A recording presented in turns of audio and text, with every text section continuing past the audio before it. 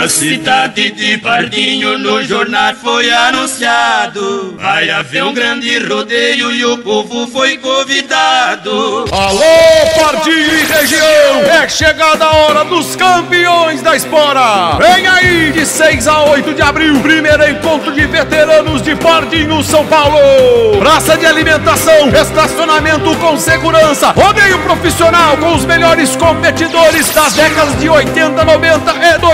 Dia 6, Augusto, César e Gustavo.